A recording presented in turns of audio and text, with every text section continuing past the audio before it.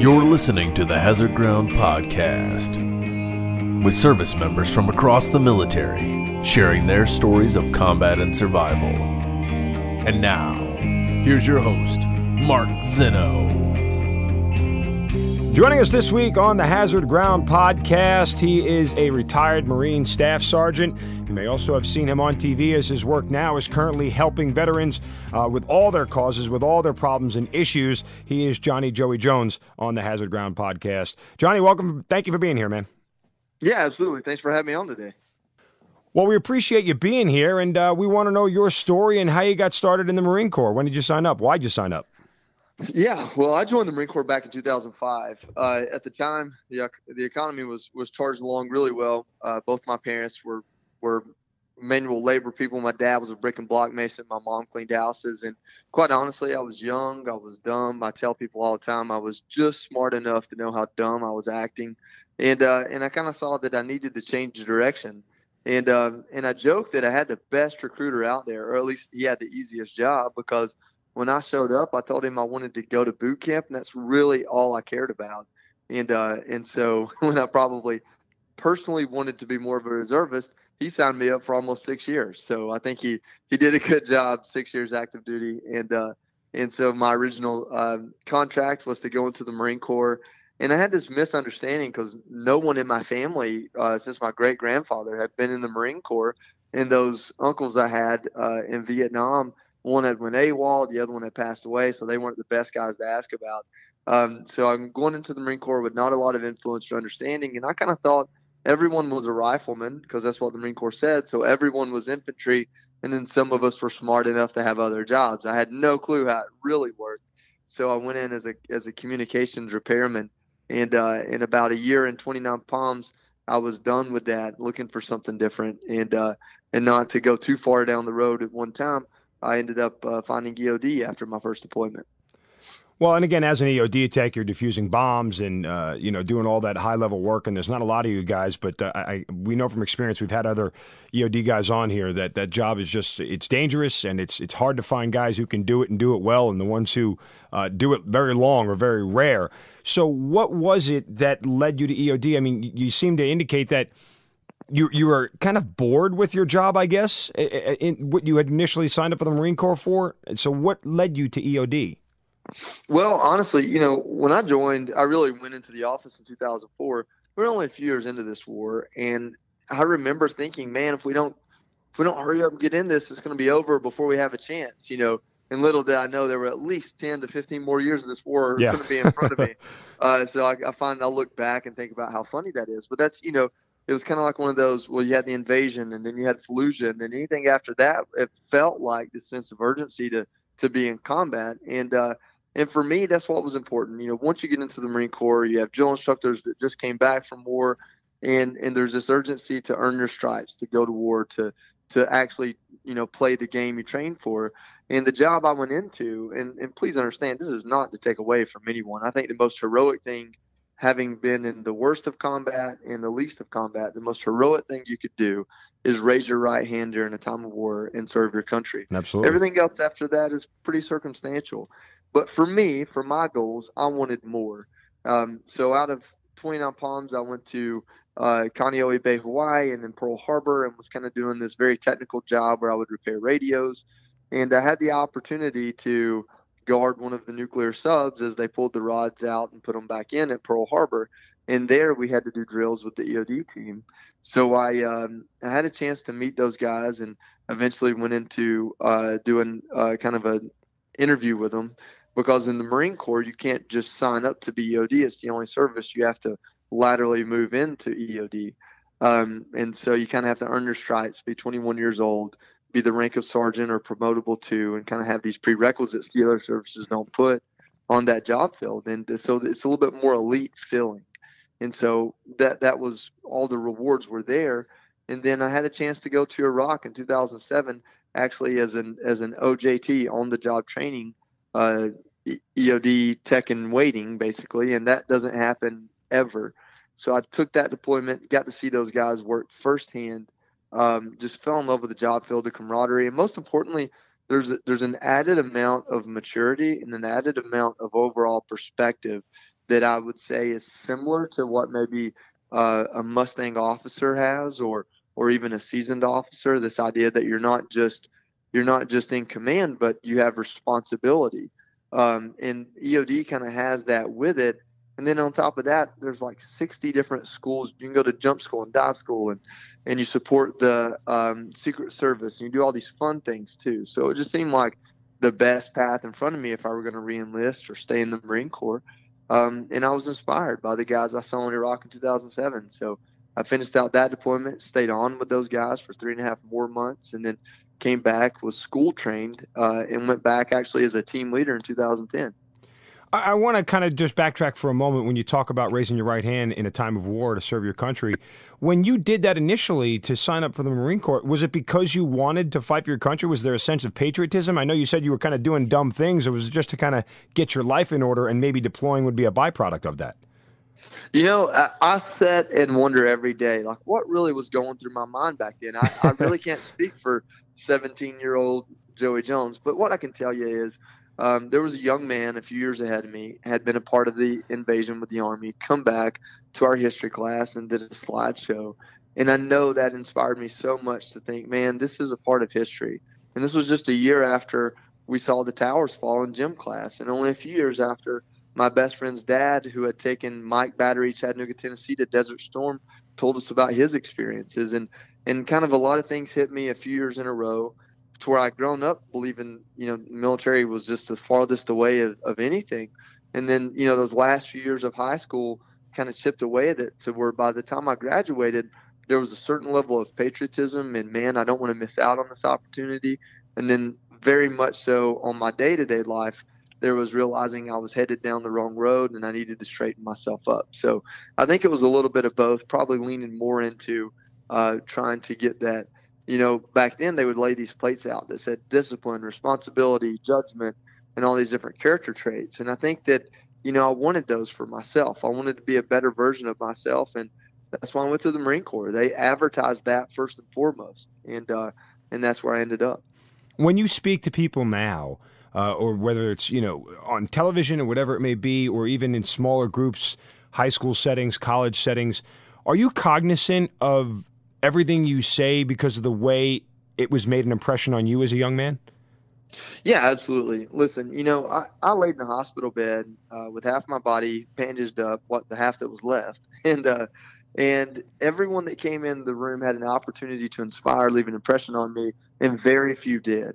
Um, and and the few that did, and how they did, I've I've thought through that. I've reflected on that, and I feel like you know, it's not my choice to try to go out and inspire people, but for some reason, living through what I have and then accomplishing what I have afterwards does inspire people. And so I'm very conscious of that, and I try to uh, tell my story or present my situation or my perspective in a way that people can, you know, they can consume and reflect on their own lives with it, and perhaps learn a thing or two or learn from my mistakes. All right, so let's get back to your second deployment. You're a fully qualified EOD tech. It's 2010.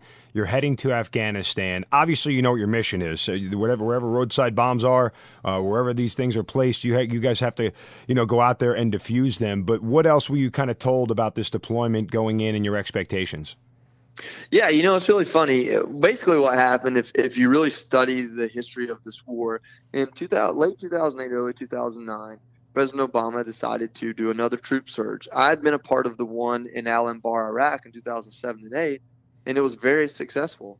Um, so that was the strategy uh, that President Obama chose to implement in Afghanistan, down in Helmand and some of the other provinces in in the uh, agricultural region where a lot of poppy was being grown and a lot of the funding for terrorism was happening. So part of that was to send 30,000 more troops, the majority of which were Marine Corps infantry units uh, to the to the heavily uh, to the heavy Taliban area of Helmand, the Garmsir River Valley. of Nowzad and uh, Marja and Sangin, and these very famous battles now were all in that area. And the idea was to saturate that area with the Marines, get a uh, get a basically a presence in places where uh, if we were there one day, the Taliban would be there six days a week. So we decided to just be there seven days a week and push them out. And that was kind of the premise of the deployment was to be a part of the surge and push the Taliban out of its last major stronghold. At that point, we were we were really winning, and um, and so we didn't get there till 2010. Um, for example, to kind of make you understand the difference between the Iraq and Afghanistan war, um, a lot of people like to lump those together. It's completely different enemies fought in completely different places. But yes, very much we could so. deploy, you know, 12 EOD techs to support a regiment, which is about the largest unit of soldiers, sailors, airmen, or Marines will deploy at one time, a regiment. And so we could deploy 12 EOD techs to support them. They could work in trucks, use robots, electronic countermeasures, basically what you saw in Hurt Locker. You move over to Afghanistan in 2010, the area was so rural. Um, the lack of infrastructure was such a problem for us. We couldn't drive trucks anywhere. Everything was on foot. And so instead of a dozen for a regiment, we had 64 EOD techs for a regiment. We had two EOD techs per company, and in some places, four EOD techs per company. And what that meant was going into that deployment the year before I got there, the casualties and um, injuries were starting to go up. And we really had a sense of, okay, this isn't what we saw in Iraq. There isn't a robot. Uh, we had already abandoned using bomb suits because they weren't very effective. But you know, we don't have a robot. We don't have our countermeasures. We don't have all these tools. It's really going to be, you know, our hands uh, working on these devices, rendering them safe. And so there was a heightened sense of awareness, but it hadn't really hit us yet. We'd had one or two more guys get injured, one one or two more guys get killed. Um, going into that deployment with 64 EOD Marine Corps EOD techs, we came out on the other side. We lost 11 guys killed in action. We had uh, almost 20 guys receive amputation over that year. And so, you know, we came out on the other end at a 33% uh, casualty rate. And, uh, and that is just insane for any one unit, much less a job field. You know, we were under 400 at the time, and we were getting percentages of our job field killed in action. And, um, and that's unprecedented. It doesn't get the same kind of attention because we're deployed out in small teams rather than being one unit in one area. Uh, but it was really tough, and and I was on the early side of that. Going into it, I, you know, what really happened for me was one night early into deployment, um, two incidents. One of our guys lost his legs, and another one lost his life. And I woke up that next morning, and I remember just running every lap I could around the helo pad for like two hours till my feet were bleeding. And I didn't realize at the time, but afterwards I realized I was doing that because I was afraid I might not get to run again, you know. And it was becoming a reality um, that that IEDs were the weapon of choice.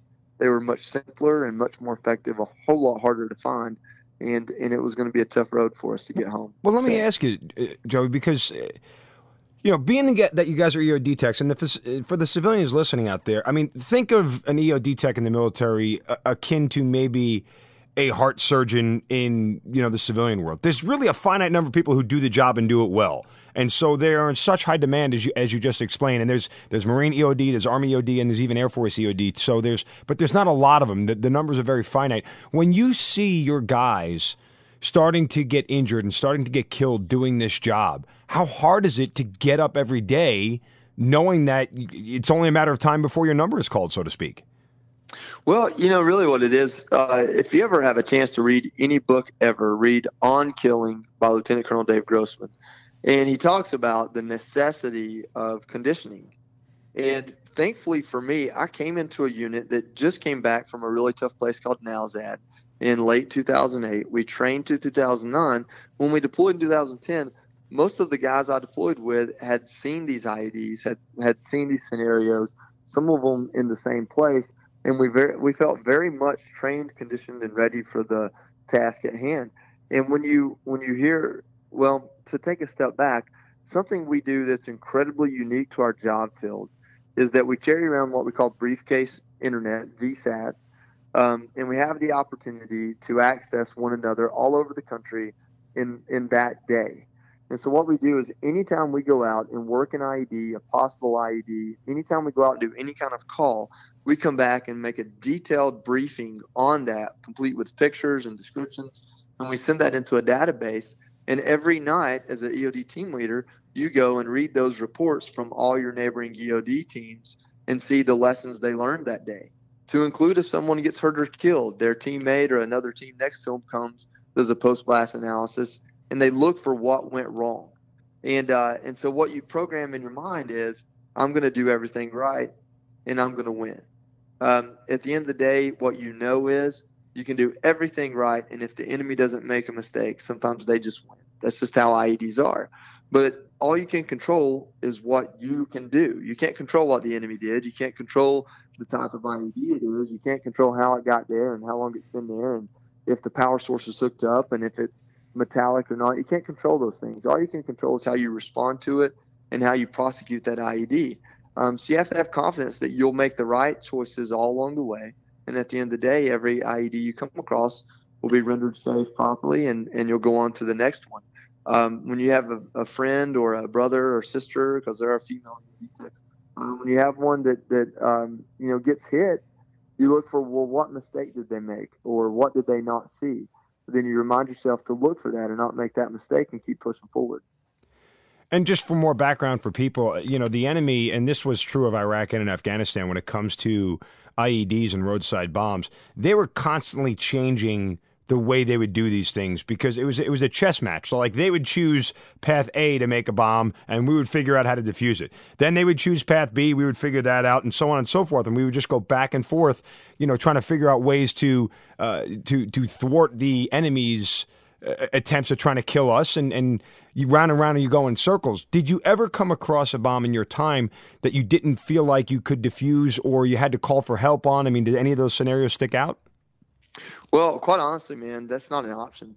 you know, when when you're over top of an IED, there is no there is no um, what was that game? W- Want to be a millionaire or whatever? There is yeah. no lifeline. Uh, call. Yeah, yeah, there's call no a lifeline. friend. it, you know, so the lifeline is to read those reports every night because even though we draw battle lines and I say, okay, this is my area, that's my teammate's area, the enemy doesn't do that. Chances are it's the same bomb makers that the team, you know, uh, 10 miles away is working with um, where I'm at. And so you read those reports, you get familiar.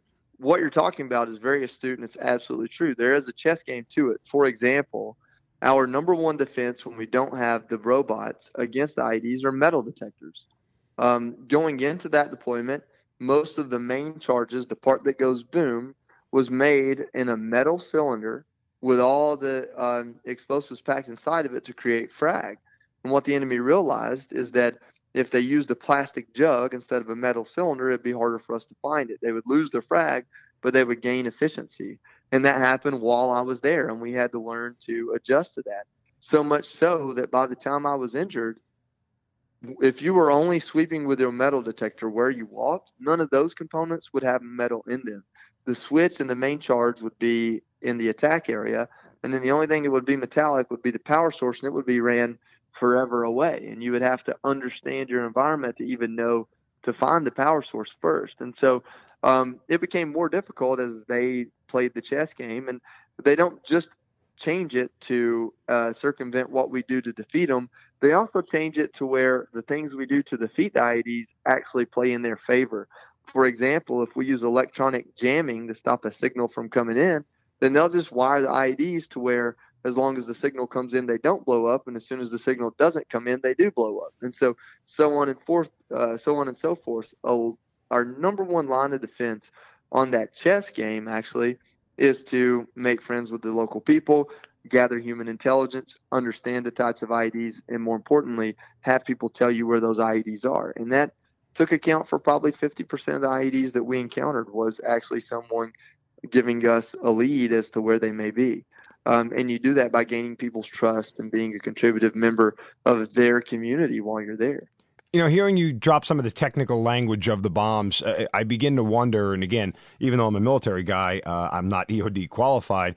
Uh, what if people ask you kind of what your job would be akin to? I know I mentioned a heart surgeon before, but the difficulty of your job is there a civilian kind of counterpart as far as the difficulty level that you could equate it to? Well, it, it's hard to it's hard to think about. I think of like the MythBusters guys. I yeah, mean, we're more scientists than we are anything. And the reason why, I, and I, I don't. Let me take a step back. Very few of us have a PhD, although some of us do. Very few of us have an engineering degree, although some of us do. Most all of us are trained in that University of Bombs and Bullets down in Destin, Florida. But with that being said, by the time you finish EOD school, which is 12 hours a day, every day they can get you in there for about a year, um, you've learned nuclear physics, you've learned um, chemistry, you've learned, you know, uh, engineering up one side and down the other, electronic engineering. And you've learned enough of each of these things to be dangerous. And so that's actually what is attractive about the job. It's not the IEDs. That's kind of a that's a burden within the job. But to go out and do some of the other things we do, say if a local SWAT team is going to take down a meth lab, if there's a military base close by, they're going to call in an EOD tech to come help out. We actually learn to disassemble meth labs in EOD school because that is something that is highly volatile. Clandestine labs in general could blow because they're makeshift and they don't have any safety precautions. So to be that kind of asset to your community and just to learn and and to get those experiences, it's it's it's a really nerdy thing that puts you in the heat of combat. yeah, uh, it's just the way you describe it. I, I, certainly can hear the the passion in your voice for it, and thank God there are guys like you out there. So you've watched some of your friends get hurt, you've watched some of your teammates get killed. Uh, and then you come up on August 6, 2010. Take me through that morning, that day when you got up. What was going through your mind? Was it a normal day? How did it go? Yeah, so to kind of set the stage, we had my teammate and I had worked in um, the Helmand River Valley, supporting kind of the same unit most of our deployment. We had moved around a little bit, and what happens is you you usually would traditionally work in a three man team, a team leader, another guy called an A slash or an assistant team leader who could fill that role, and then your youngest, newest guy would be your teammate. And and those three would work together, and then you know each deployment you cycle up a step, and that's kind of how the job field works. But when we got to Afghanistan and realized, hey, we can't get from point A to point B besides on foot, we had to have more teams in more areas, and the only way to do that was to cut the numbers. So we when we chopped down to two man teams, what that meant was if someone got injured or killed on a team, we don't allow EOD techs to work by themselves most of the time. That that unit loses its EOD support until we get another tech there to work with who's left. And so we we were really just sparse. I mean, we had units that didn't have EOD support by the end of that tour when we started with each unit having one to two teams. And so what that means is that many guys got killed and injured. So um, what happened was there was a, a town called Safar Bazaar. We had left it alone most of the war, really. Um, it didn't pose a threat most of the time, and because of that, the enemy had found it. It was out away from the water source. It was in the middle of the desert. It was a trading post, and they had basically turned it into a place where they could stockpile IED components and hide guys we were looking for and push them back to the river valley and continue the war against us. So we finally got clearance, which at the time was really difficult to do, to go in, raid the town, destroy the IED components, and wrap up any bad guys. So we took about 200 Marines. Uh, we took an Army route clearance unit and a, and a Marine Corps obstacle uh, clearance unit, which on the Marine Corps side meant bulldozers, and on the Army side meant ground penetrating radars and, and kind of backhoe digging hands. And um, and we started to clear this town. So we had three EOD teams so that was six techs. One team, two of the techs was in a in a static position as kind of the cavalry on on top of a hill. Another team was tasked with clearing our medevac route out of the town. Well, my teammate and I were tasked with the majority of the work, which was to clear street by street and block by block and and push the bad guys out of the town. So we fought for a few days, and by and then once the bad guys realized we brought a lot of gunpowder, they kind of just left. But what they left behind was a minefield. And so over five days, my teammate and I cleared um, 38 IEDs. Um, on the sixth morning, uh, there was a, a, a, structure we had identified as a hotel uh, through Falcon View or, or, the drones, and come to realize it was a storage facility. And as the engineers um, began kind of clearing that building, they found components to IEDs that they hadn't seen before called in us. We identified them as new to the area of operation. We called in certified law enforcement officers, which are basically there to help take forensics. Um, and I kind of leaned up against the wall. And honestly, what happened was uh, the bad guys had started gathering, scavenging our own unexploded ordnance from the battlefield. And they brought in this really big, basically, it's a giant candle. So you drop it from a plane, a parachute pops open, it ignites it, and it lights up the sky and provides light at night and my teammate had moved it, and I remembered it from EOD school. You're not supposed to move them because you could set them off. And so I went to check on it. He had put it behind a little wall, and I shined my flashlight into it to see if it were armed, and realized it wasn't, and kind of hung out for a minute. And uh, once I saw those uh, forensics guys come towards me from about 200 yards away, I put my gear back on, took a step forward, and when I did, I stepped on an IED. Um, that area had been cleared three times. I didn't have a reason to suspect there'd be an IED there. And that time, the, the enemy had done everything right, and there was not much I could do. So um, the IED went off. I knew that's what it was as soon as it happened.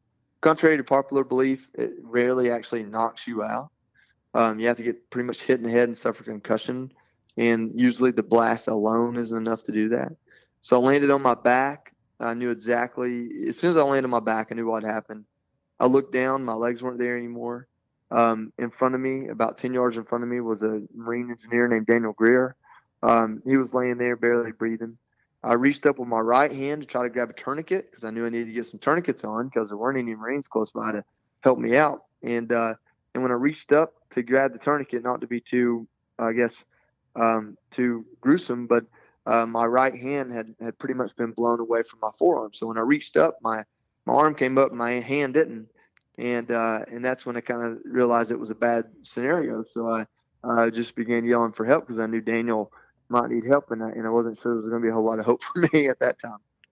Well, so okay, oh, dear Lord God, you're the first person I've talked to, and we've talked to several people who have been blown up and and lost limbs that knew exactly what happened when it happened. I, I, I mean, that's I guess because you're so used to being in that environment, and you know the bombs and everything. I'm, I'm assuming, but it goes off, and you had to be pushed back. You had to be thrown somewhere, but just because of the the percussion of the explosion, correct? Yeah, I was thrown about 20 yards okay. air. Um, and, and, not to gloss over certain parts, but basically when I stepped on the IED, everything went went tan. Really, is what happened.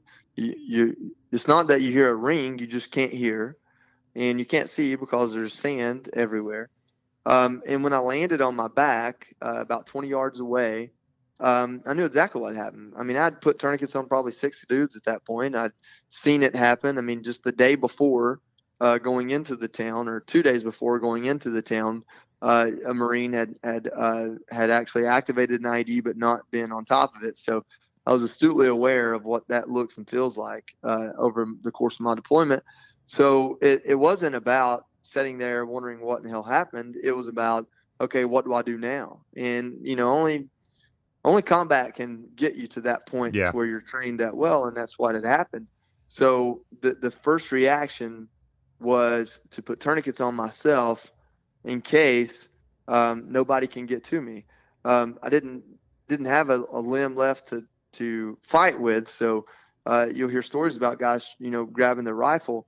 Well, you know, the, the the enemy was the IED, and I didn't have anything left to use the rifle with. So at that point, it was all about uh, getting tourniquets on me so I didn't bleed out on the battlefield um, and become a hindrance to everybody, you know, in that way. So if I could keep myself from bleeding out, then I could stay aware, answer questions, and help help the guys out uh, because there was a chance Marines that weren't EOD techs or trained in EOD procedures were going to have to come get me.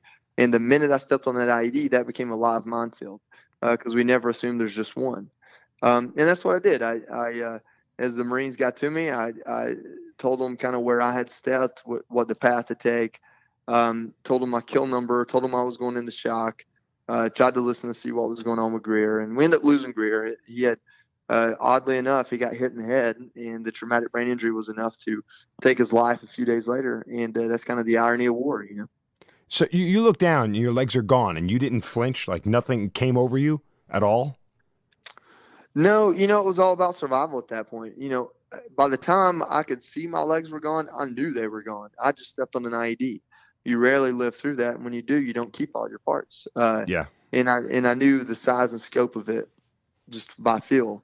Um, so there wasn't a, a huge moment of of oh my god because you're trained and conditioned at that point to expect the worst and react to the worst. Anything less than the worst is a good day. Um, and that's how it works, you know. So when I looked down and my legs were gone, the only question I asked was, "Do I still have a knee?" Because that would have been huge for my recovery. Unfortunately, I didn't. Um, I asked the guy to say the Lord's Prayer with me when he finally did start putting tourniquets on because I knew I, I could feel myself going into shock. I thought I felt myself fading, but what was actually happening was my eyes were swelling shut. And so I'm like, you know, I'm not super religious, but let's cover some bases here, get this one out of the way in case we don't wake up tomorrow. And uh, I don't mean to chuckle, but the way you said it was very matter of fact. I'm not religious, but I let's just throw this one on in there. The, the, guy putting the tourniquets on was laughing with me. We couldn't, neither one of us could remember the Lord's Prayer, so we kind of just made it up and, and had a laugh over it. Uh, that's beautiful. I, I, certainly, again, I don't mean to laugh at you, but the way you tell it was no, very, it you know. Uh, but okay, so how do you ultimately get off the battlefield? What happens? Do you know? Are you awake? Yeah, yeah. I was I was conscious longer than my eyes were awake. So essentially, what happened? They put tourniquets on. They got Greer off first because his head was bleeding. Um, and I remember one of the guys that got to him yelled, "We've got a heavy breather." And I remember thinking, and, and I'm not going to use the words on here, but I remember thinking, "What in the blank is a heavy breather?" Like that is not a term I have heard. I remember analyzing in that moment on the battlefield what does that mean because I was incredibly concerned about Daniel because he was standing too close to me to begin with and it's my job to keep the people around me safe um, and and I and I realized that after the fact that I should have pushed him back um, now I wasn't performing EOD procedures so technically no he wasn't too close to me but I was still there working as an EOD tech and our our instinct is to push everyone away from us as we do our job. Because if we get hit, it just needs to be us, nobody else. And I remember worrying a whole lot about Daniel. Um, I remember them putting me on a stretcher, and what they did is they had something there called a mobile trauma bay. And so we brought trucks with us as far as we could. They were about two kilometers outside of the town we were held up in. And so they ran, got one of these trucks, and it was a sterile box on the back of a seven ton truck, and they put me in it. And in there, they started working on me. And I remember thinking, man, I've lost my legs. I can't afford to lose my arm. And I knew my right arm was hit really bad. So I remember thinking, man, if I can just hide this arm and they don't see it till they get me to Bagram or Leatherneck or Landstuhl, they can save it there because, you know, we go through live tissue training and MRSA and the infection was so bad at that time, we were taught to cut off about a half an inch of live tissue and try to get the infection out. And I'm thinking, well, man, I don't know if I have that much in my arm, but they can get me to a better hospital. They can do it better and keep my arm. Um, and so I remember worrying about that. It's kind of like, you know, I don't want to do squats again, but at least let me do curls. You know, and I was single at the time. And um, and we actually had a female nurse there. I remember her holding my hand, and uh, and I remember telling her, you know, keep my arm, keep my arm. And later, I was told um, by the uh, the commanding officer who came to see me that I um, was repeating over and over again, uh, "I'm sorry, I screwed up," and uh, and I didn't know that until after the fact. There's a there's a TED talk that kind of brings me to tears every time that we had embed reporters with us, and he gives the TED talk and tells that story.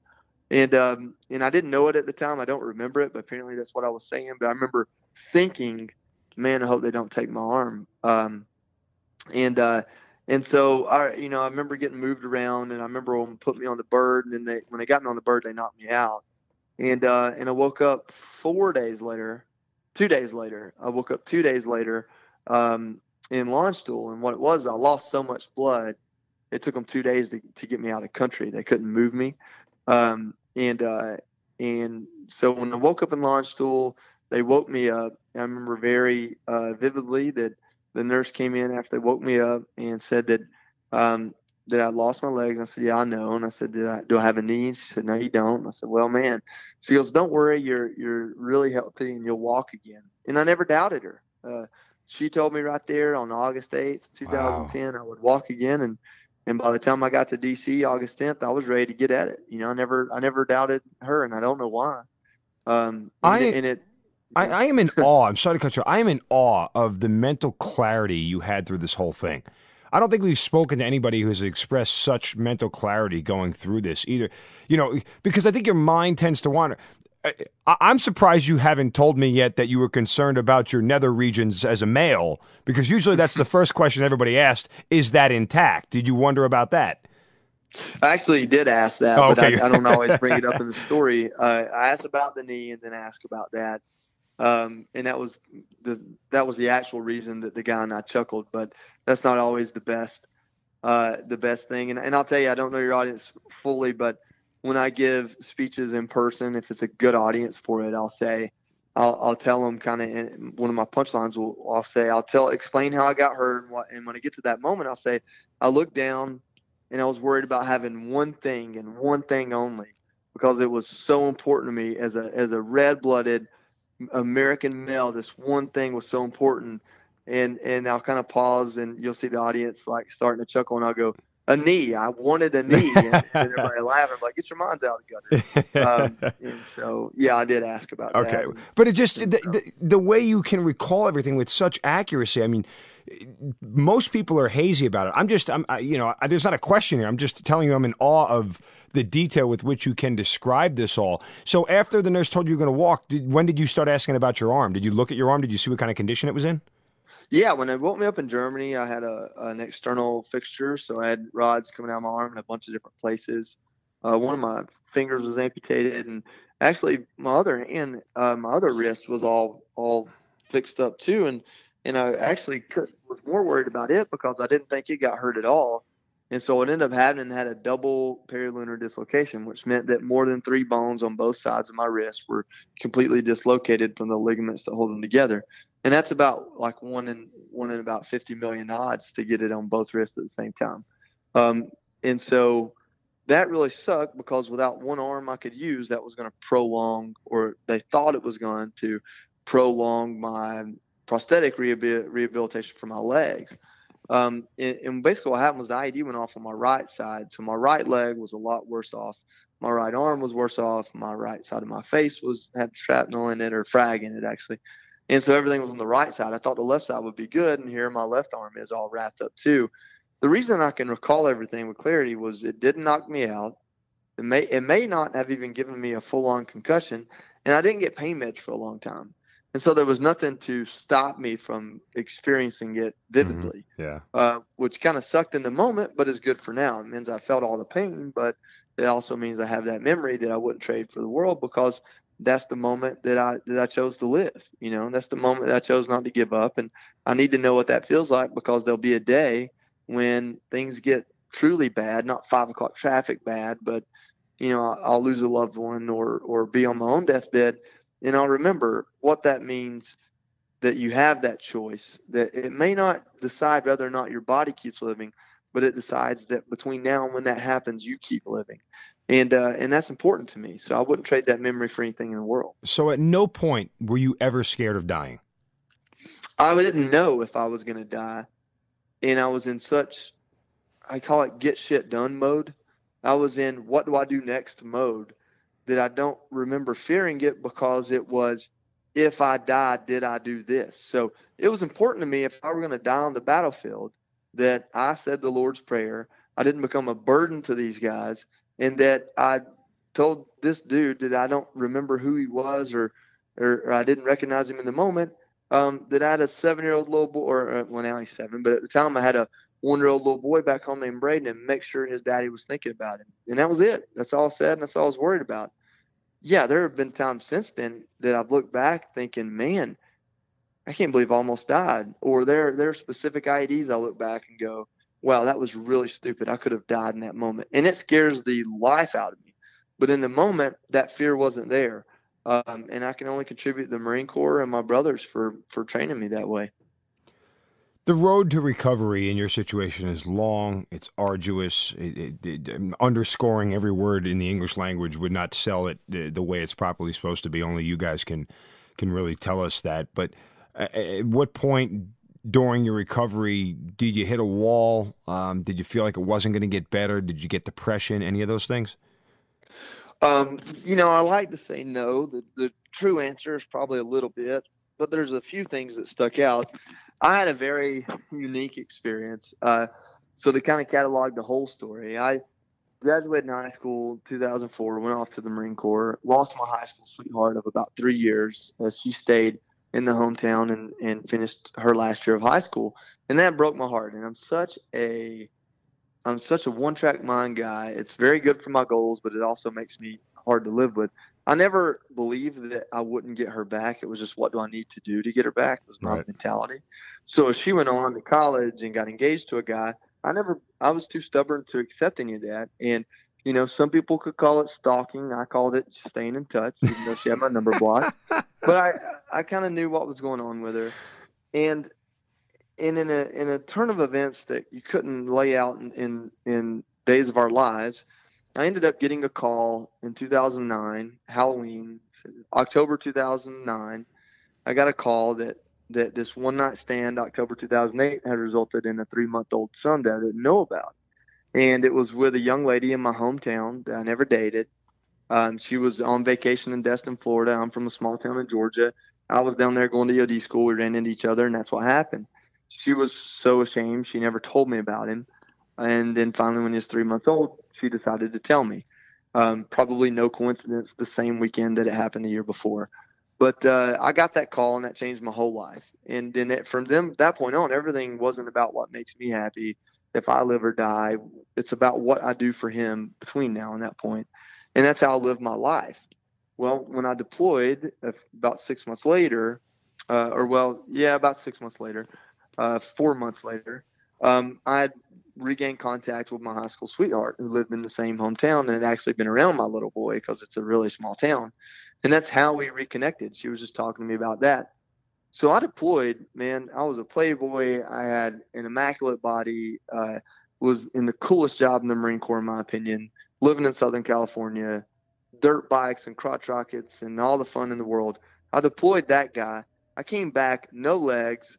My body was about to go through the worst atrophy ever.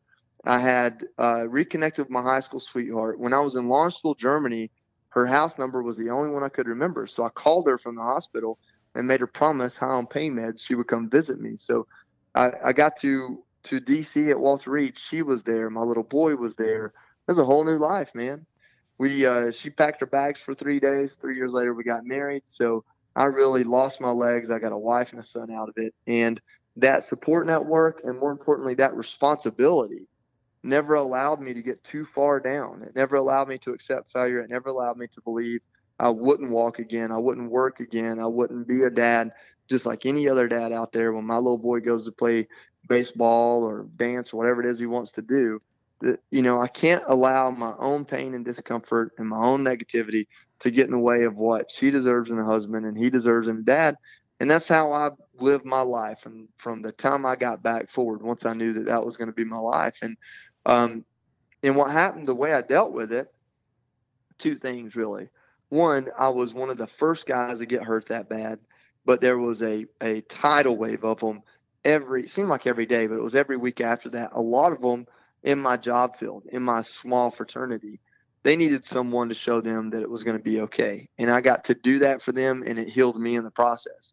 And then the other side of that was I told myself, you know, you got to be strong for them, but you also got to give yourself an opportunity to not be strong. So every time they'd bring in lunch, I kick everybody out of the room and as I ate my lunch, I would pitch a fit and scream and cuss God and the devil and the government, and the Taliban, and everybody in between. and to begin with, that was a half an hour, and within a month, it was only five minutes. And by the second month, I didn't need to do it anymore. I was cool with it. It's beautiful, man. I mean, I, would love to give you a hug. Like, I just, uh, I love hearing it. I just, I mean, I the way it works out, I, I, you know, like you said, you're not religious, but God obviously has a plan. And I, am not going to get into religious spiel, but there's too much uh, uh, of good things happening there for not, not to be some sort of higher power looking over you and, uh, and continuing to bless you. So, uh, where are you right now as far as recovery is concerned? I mean, it's 2017. It's almost 10 years later, or seven years later, rather, uh, from your from your injury date. How are you physically? Well, uh, I'm great, and and I'll tell you, kind of, this is my timeline, and a lot of people don't believe it. It's absolutely true, and I and I don't know what to tell you as a reason, but I was injured August 6, 2010. I started walking and gained my independence February 2011, and I started working on Capitol Hill as a as a fellow at the House Veterans Affairs Committee uh, 10 months after I got injured on in June 2011. Um, I I sped through my recovery. Um, I learned how to walk with, before my arms were working again, and um, my wounds healed quick because I was in really really good shape and my body had the energy there to heal. Um, I also did everything they told me to and then some. I was in therapy twice a day. Um, I, I, had them convinced. I was actually lying to them, so I ended up with two therapists, and they didn't know it. I'd have one in the morning and one in the afternoon, and they didn't know about each other, and they let me do my therapy, you know, in twice a time. I just, you know, I just a little bit more pain, a lot more exhaustion, but my goal was to get done with that as soon as possible, to not be a victim any more than I had to, to not be a patient any more than I had to. I despise that word Um, I wanted to stand and look people in the eye, not in the belly button. I couldn't stand the wheelchair. Um, I wanted to walk. I wanted to get back to my life, whatever that may be. Um, and and so part of that for me was getting through it quicker. Now I can tell you there were there were repercussions from that that came back at me years later that I've had to work through, but I wouldn't change it for anything because nothing could have healed me mentally and psychologically as much as getting out of that hospital as quick as possible, going back into the real world where people expected me to be somewhere at nine, be there till five, do stuff in between. Um, and so that has guided my views in politics. Uh, I've been more active. Um, and to kind of take a step back, and I'm sorry to throw it all at you, but basically what happened when I realized I was recovering quickly, the VA and DOD couldn't move the paperwork as quickly as I was recovering. So there was going to be six to 12 months where they were processing me through their system that I was ready to go. So I went and found an opportunity at the House Veterans Affairs Committee, went and bought a suit, cornered the chairman of the House Veterans Affairs Committee at the Commandant of the Marine Corps House at one of their parades one night, told him, hey, look, you're the chairman of the House Veterans Affairs Committee. You're also the representative from the First District of Florida, where all the EOD community is. They said you should give me a job. That was on a Friday night. Monday morning, I get a call. Hey, we want you to come up and interview for this fellowship we want to do. Well, they don't know that I'm active duty. They don't know the rules and regulations of active duty. I go buy a suit. I go do the interview, write a horrible resume. They bring me on board as a as a fellow without any college education or anything like that. Um, they think I'm going to be kind of a, a, a shiny object for them to brag about. Well, I show up at work. I go to therapy seven to nine. I'm at work by eleven every day. I'm there to about three thirty-four, and I'll leave and go home. So the Marine Corps doesn't know I'm doing this. The hospital doesn't know I'm doing it, and the House Veterans Affairs Committee doesn't know that I'm actually a, a patient at Walter Reed recovering that should be there all day. So I do that for about two months, and um, uh, I passed by a colonel one day in Marine Corps uniform, and I learned that the Marine Corps and all services have what's called an Office of Legislative Affairs, which means they have officers stationed in individual members' offices on Capitol Hill. It's an old tradition, mostly junior officers. Then they have a senior officer who's in charge of them. So he sees me, wants to know more about me, starts researching, finds out I've been up there for two months, blows his lid because there's all these ethics rules, training you have to do, and all this approval you have to get calls me down to his office, really to cuss me out and send me back to Walter Reed. And before he lays into me, he gets a call from the Commandant of the Marine Corps, who had just gotten a call from Chairman Jeff Miller talking about how much they love having me up there, and he's basically stuck with me. Um, and that was my, that was me weaseling my way into politics back in 2011. That's fantastic.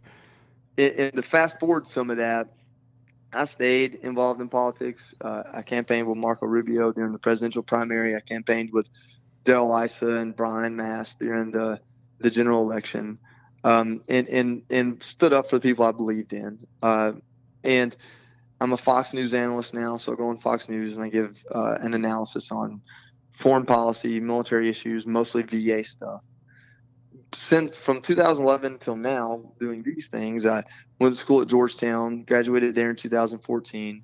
I did some acting. I was in a movie called Lincoln. Um, I worked in NASCAR for two years with a nonprofit out of DC, taking Wounded Warriors to NASCAR races, um, and did all these different things trying to find what it was I wanted to do in life while I recovered and finished school. And um, and so finally in 2014, I moved to Texas to run a nonprofit called Boot Campaign they focused on working with celebrities that showed the support for the military. I had amassed a pretty cool catalog of celebrities.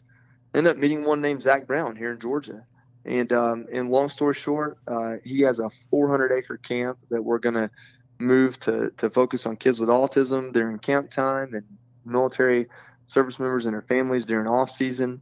He hired me to come out here to Georgia and help run that.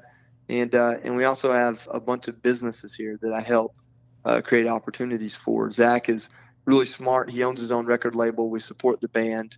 We do almost everything in house, and I help with a lot of that. So that's what I'm up to now. it's an amazing story. Uh, let me ask you: Do you miss the Marine Corps?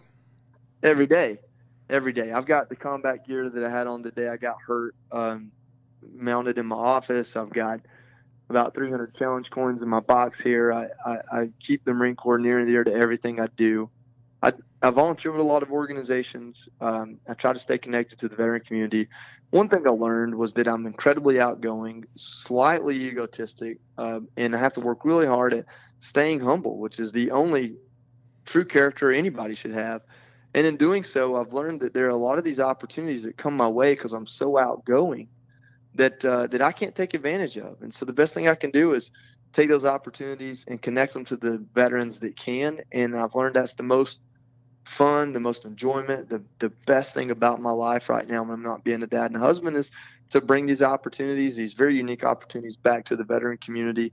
Um, I do a lot with the EOD community, but just the veteran community at large, and um, and I'm there's I'm always getting a call. You know, somebody's best friend, you know, this happened to them, that happened to them. They tried to kill themselves. They're just getting out. They're looking for a job.